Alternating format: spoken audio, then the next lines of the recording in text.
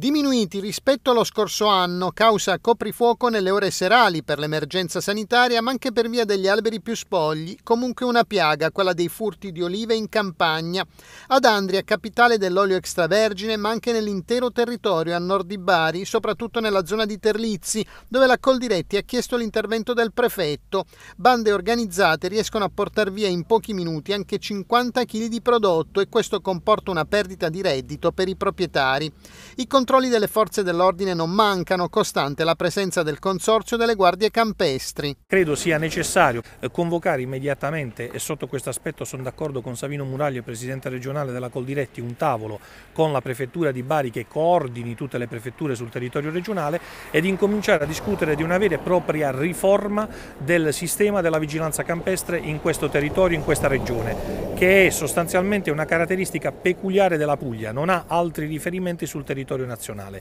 Deve essere eliminato l'assenza dello scopo di lucro, deve essere eliminata la impostazione giuridica di associazione senza scopo di lucro, va riorganizzato e rideterminato il tutto necessariamente con la collaborazione delle organizzazioni professionali di categoria che non possono apparire e comparire solo quando si tratta di gridare al, al ladro al ladro, ma che devono essere anche parte attiva nel sostegno e nel mantenimento in vita di questi consorsi.